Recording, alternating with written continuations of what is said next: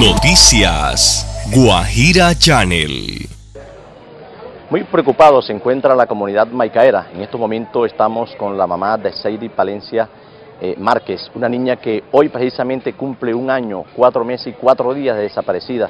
Fue plagiada de su libertad. No merece que esta felicidad de la crianza de su hija sea truncada en primavera. Así lo ha manifestado la mamá y por eso queremos llegarle al corazón de todos los colombianos, de todos los maicaeros, de todos los guajiros inclusive en otras partes del país donde de pronto esté la niña, que se le hablan del corazón y devuelvan a esa niña al seno de su hogar. Pues triste, abatida todavía. No tengo noticias de la niña. Un año, cuatro meses, cuatro días de esta angustia, de esta tristeza, de esta lucha, de esta búsqueda. Nadie me ayuda, no pasa nada, nadie me dice nada. Yo no tengo ni idea de dónde puede estar mi niña de 12 años, porque cumplió 12 años en cautiverio.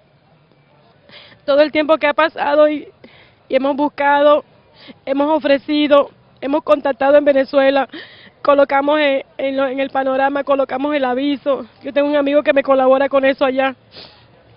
Aquí en los noticieros, en los programas de, de internet. El señor José siempre me está colaborando, pero desafortunadamente por más que la recompensa se aumentó, no he conseguido a alguien que se toque el corazón y me diga dónde está la niña. Yo no aguanto.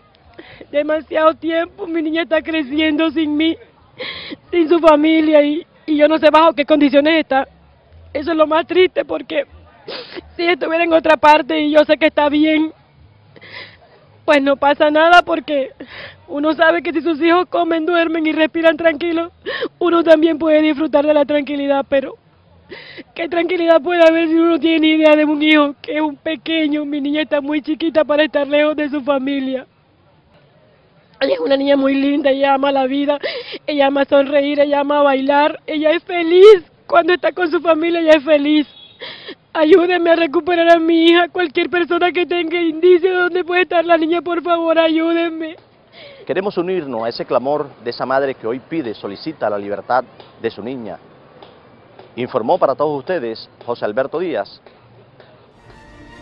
Ya somos más de 3.000 suscriptores en nuestro canal de YouTube.